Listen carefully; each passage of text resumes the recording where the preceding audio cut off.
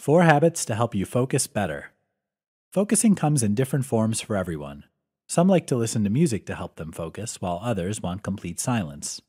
Keep reading for four tips that help you find your focus. 1. Have a daily plan.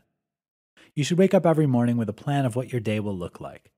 This doesn't have to be a detailed schedule that outlines every minute, but having a plan in place that'll eliminate small decisions that can get you off track. Having a plan will also give you a clear goal of how your day should progress and end. Take every evening to write out, not just in your head, the plan for the next day. It can include what you'll have for breakfast, through what order you'll complete your work in. It may also be helpful to prep items such as meals, coffee, and clothing to keep you on track. 2. Moment of enjoyment. Every day, take at least a small amount of time to do something you really enjoy.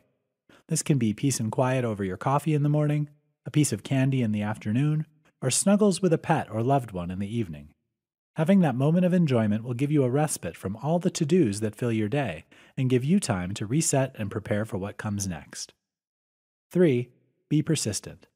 If a task isn't coming easily to you, feel free to walk away for a few minutes or even a day. But be persistent with the process and don't give up.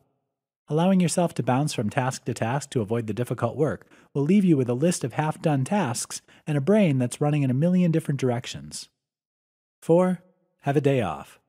There's no rest for the wicked, and the righteous don't need it, is a familiar turn of phrase that praises the busy. But we all know that isn't the truth. We all need a day off to rest, reset, and recuperate. We also need time with our families and friends to fill our cups and remind us why the hard days are worth it. Focusing better is both a mindset and a physical act that you must prepare your mind and body for. Be sure that you're doing everything in your power to set yourself up to the best of your ability.